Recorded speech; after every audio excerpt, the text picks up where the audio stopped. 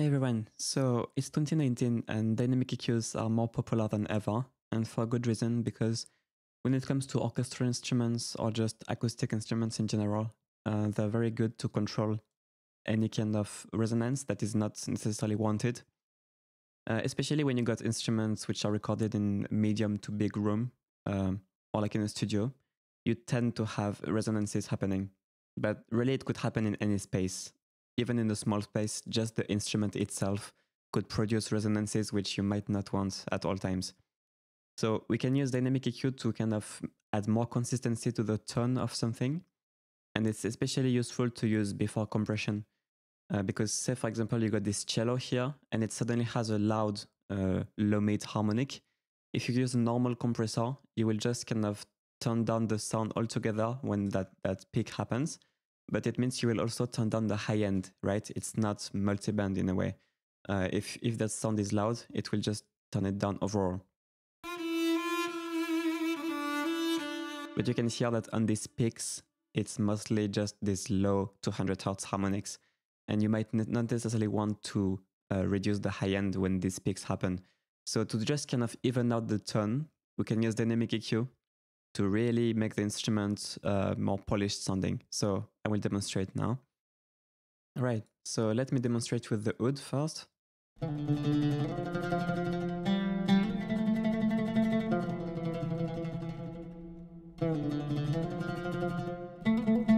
So the first step of the, of the workflow should be to figure out what's not enough, what's just not right in the EQ in general. So I feel like it could be a bit brighter.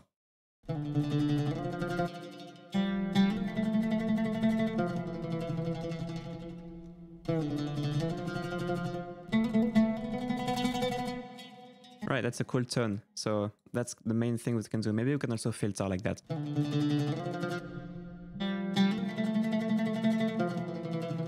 Now, there is still some inconsistencies. Uh, sometimes there is these muddy harmonics jumping up here, and we don't want the oud to be thin, but we don't want these muddy harmonics to jump, especially at the end here.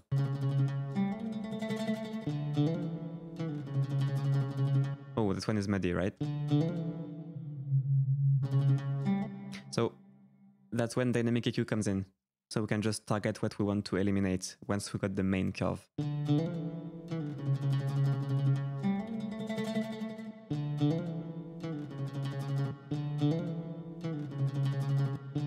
Threshold. Right, so it's just acting when it's too loud.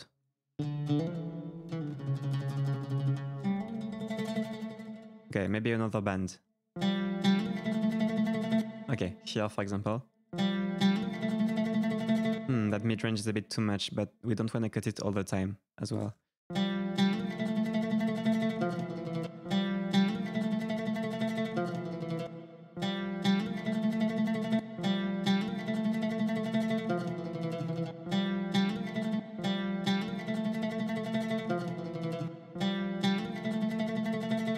Nice, it's clear now.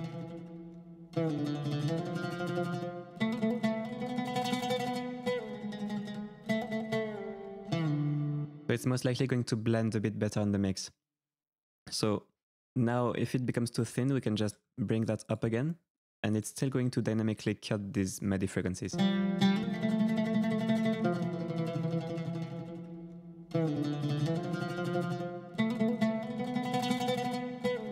Nice, so we have a fat sound, but we don't have these muddy resonances.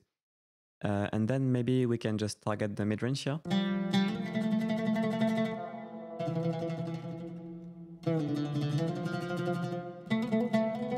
It gets ever so slightly boxy, so let's just slightly cut. But here, for example, uh, around this part, see here this note. It's a little bit too boxy, right? So we can control that. Let's just make sure that the threshold only acts pretty much uh, when this note happens. Okay. We don't want this to act all the time, so let's look and make sure that it's not compressing all the time. Nice, see? When it's not needed.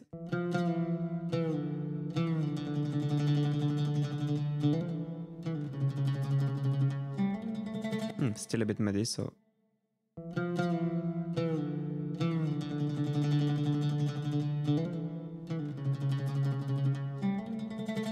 Nice.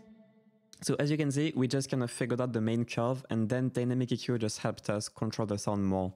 Uh, so it's a great modern way to process acoustic instruments to reduce natural resonances, which might be too muddy, uh, just too much overall. It could also be needed in the high end. Say you got a very uh, trebly part, you could also dynamically cut it with dynamic EQ. So in Pro Q3, we can do it all in one. But if you don't have Pro Q3, you can just use a normal EQ first, set up your tone first, and then second in the chain, just put a dynamic EQ right after it and do your cuts uh, on a different plugin. But that's the idea. That's my workflow for dynamic EQ. So once you kind of even out the tone a bit like that, uh, then you can maybe apply general compression um, just to kind of bring in all these peaks together because you, you might not want such huge dynamics. Um, but yeah, another quick example. So if we got a flute here and the 1K, the mid range kind of gets a bit loud sometimes and a bit too loud compared to the air, but we want the texture to be quite stable because we want to feel the air of the flute at all times. And we don't want the mid range to blow the flute out of the mix. Uh, we can do something like that, for example. So that's the main curve. That's the dynamic EQ curve.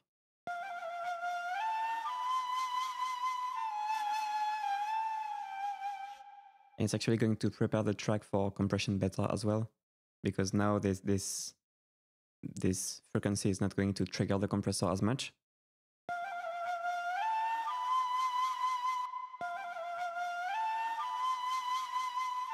Right? It's just more balanced. So now compared to without the EQ.